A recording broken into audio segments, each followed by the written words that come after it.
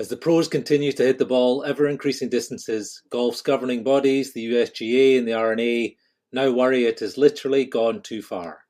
Indeed, there is repeated concern that there is, there is not going to be enough golf real estate to cope if this trend continues, and the older and even not so old golf courses will soon become redundant as their defences become increasingly useless against golfers hitting the ball further and further.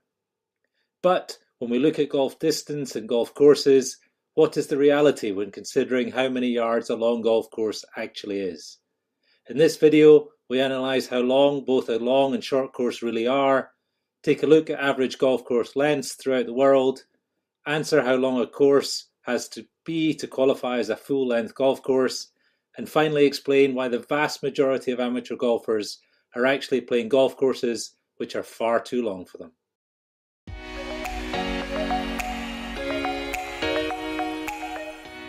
Length, when it comes to golf courses, is clearly a subjective term.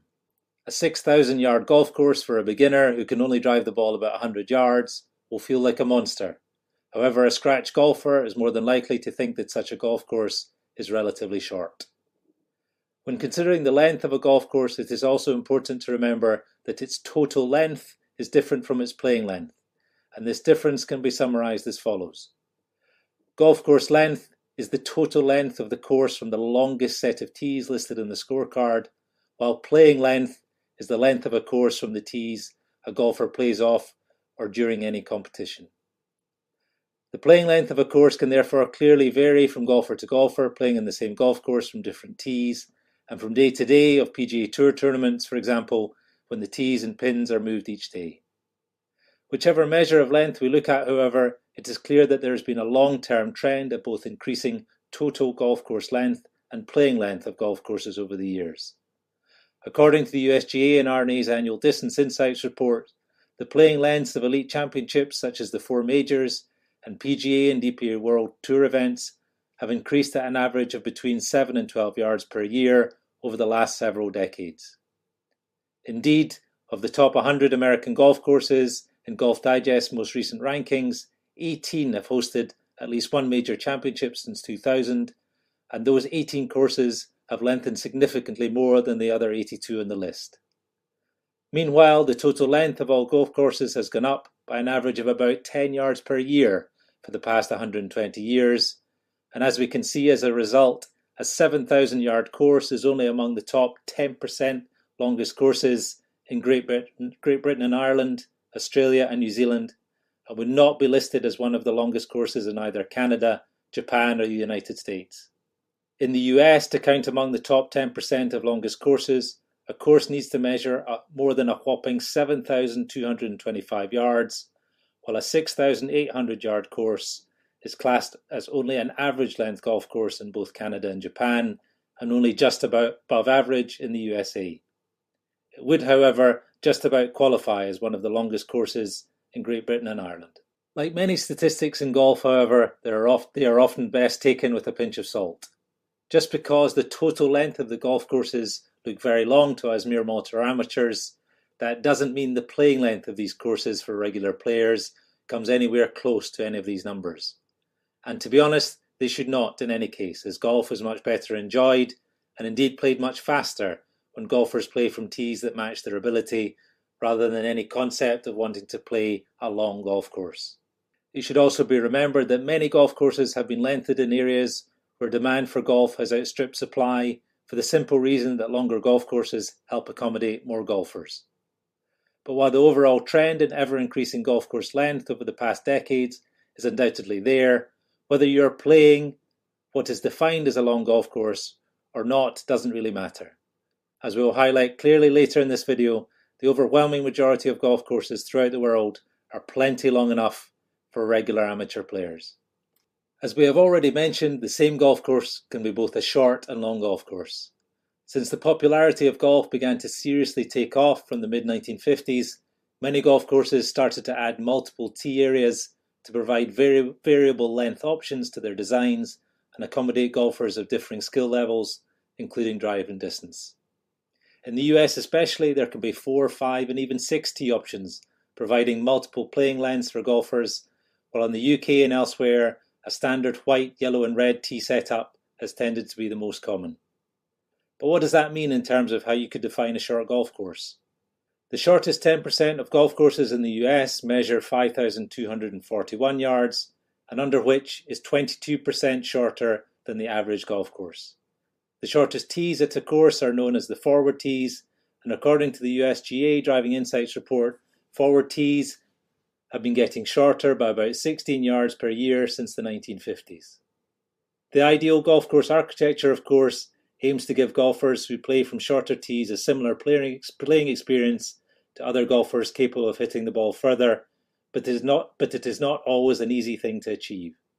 The forward tees in some courses also can sometimes not be that short and can measure in excess of 6,500 yards, a distance which the USGA's Tee It Forward campaign proposes requires a player to have an average driving distance of over 250 yards to be able to tackle effectively.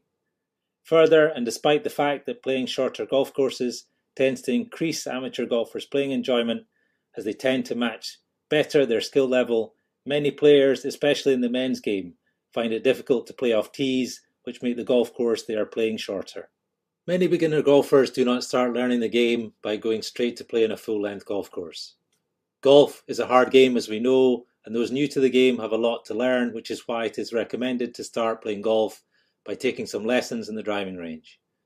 As players get better, however, there inevitably comes a point when they want to stop practicing and get playing in an actual full length golf course, and the question therefore often arises to what actually constitutes a full length course and how long a course must be to be classed as one. As a general rule, a full length golf course is made up of any 18 holes that have a par which conforms to the rates of par based on the distances set under the rules of golf. These guidelines specify a par 3 be less than 250 yards, par 4s be 250 to 470 yards, par 5s are 471 to 690 yards, and par 6s are 691 yards and over. So it is clear from these guidelines that there is no minimum length that a course must be to be considered a full length golf course.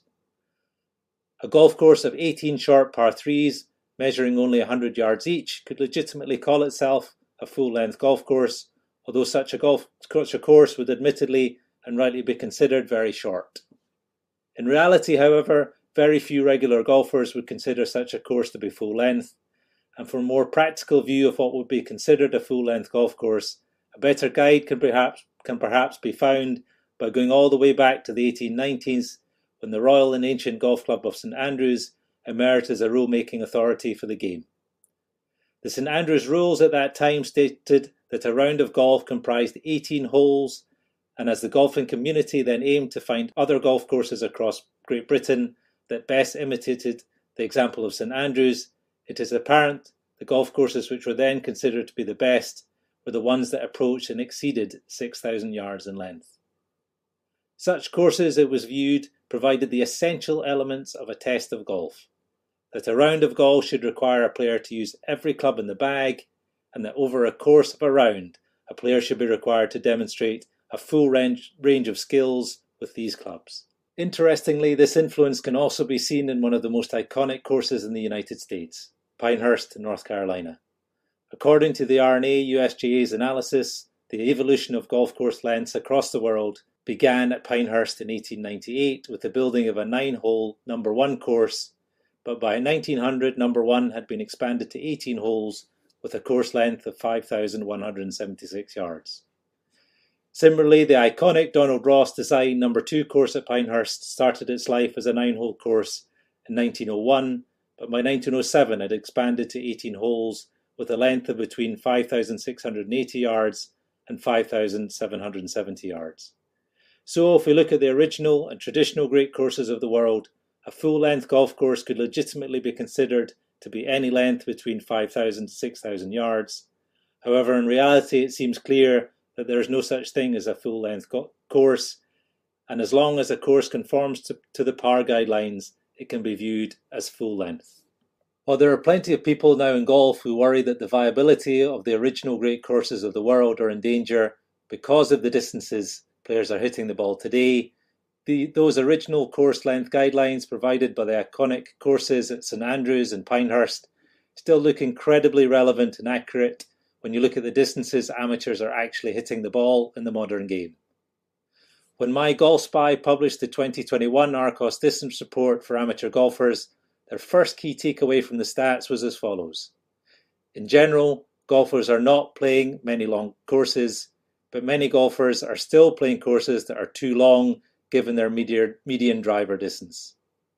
And this insight was based on their mapping of the guidelines of the USGA's Tee It Forward guidelines for selecting tees with the distances, the millions of drives hit by users of Arccos, golf's first artificial intelligence shot tracking platform. Tee It Forward is a joint initiative between the USGA and the PGA of America that encourages players to play from a set of tees best suited to their driving distance and lists the following distance guidelines for players to select the right tees for them to play off. And when Arccos overlaid these recommended yardages, they estimated these percentages for how many players should roughly be playing what yardages. However, when Arccos then looked at how well Arccos users followed the USGA's Tee Forward recommendations, they clearly found that a large number of golfers, and especially those players hitting the ball the shortest distances, are playing courses which are far too long for their skill level. When it comes to selecting a course yardage and which tee box to play from, golfers are often influenced by who they are playing with. Old habits also die hard and are hard to break, while it is also not always possible to play a course at a specific yardage. However, what is clear from the data is that amateurs in general are typically playing golf courses which are far too long for their skill level, and while getting golfers, especially male players, to move up a tee box is not always an easy thing to do, it is more likely it will improve your enjoyment of the game by removing the need to constantly be hitting long shots outside your capabilities. It can also simply be good fun to show, see how your course plays from different tees, as well as being an easy way to help improve your game. Whatever you do, though, just don't keep playing a course from tees for the sole reason that you think it's a good thing to be playing a long golf course. Thanks for watching. Please like this video if you found it useful, and most importantly, enjoy your golf.